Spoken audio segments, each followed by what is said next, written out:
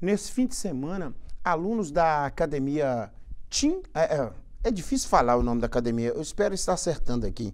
Alunos da. É, o nome da academia é Tim Balouta. O Bebiano me ajuda aqui. O Bebiano também é especialista em artes marciais, né, Bebiano? É, sob o comando do professor Leonardo Martins, eles receberam a visita do atleta Felipe Pena, conhecido como Felipe Preguiça, que no, de preguiça não tem nada, né? É, o atleta é três vezes campeão mundial de jiu-jitsu é, e chama preguiça, hein, Lamonier? Imagina se não fosse. E duas vezes campeão do ADCC, competição internacional da modalidade esportiva realizado em Abu Dhabi. Daqui a pouco eu tava falando do rapaz ali do Emirados Árabes aí, ó. Abu Dhabi, ó. No evento, Felipe Preguiça apresentou as técnicas usadas em lutas com kimono e sem kimono, né? Que o tornaram campeão de muitas competições nacionais e internacionais.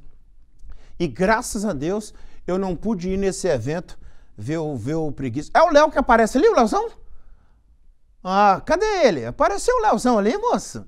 Léozão. Ah, ele aí, ó, gente nossa demais. Gente nossa demais. Fenômeno. Fenômeno. Um abraço pro Léo. Doutor Léo, Felipe. Doutor, doutor Léo. É filho do meu amigo Laércio, né? É ele aí. É, ainda bem que eu não pude ir nesse evento, hein? Já pensou, Bebiano? O Felipe Preguiça te dando uma, uma, uma, uma ajeitada ali no, no, tatame ali, ó. Hã? Ah, o Gabigol antes do. Hã? Você tá doido? O nome do homem é preguiça, é por causa dos movimentos dele, Lamonier. Felipe Preguiça, né? Vai nessa. Ó o Leozão lá. Alô, Leozão! Ah, é, me, conv me convida pros próximos aí, hein, Léo?